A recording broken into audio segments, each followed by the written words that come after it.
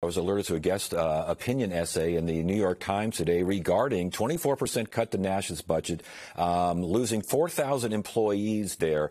Um, and, and it sounds to me, and correct me if I'm wrong, but the public private aspect of space travel, of science in general, but especially of space travel, that that is being really compromised here. Is that, is that true? Well, when you lay off a large portion of your senior workforce, the experts, sure, a lot of things are comp- compromised. I mean, the future of the agency is compromised.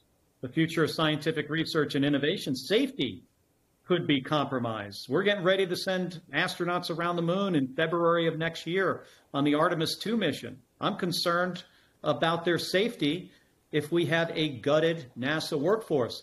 And by the way, we've been doing really well with this private public partnership through companies like, especially SpaceX, you know, as an example, but others. And it's been working really well.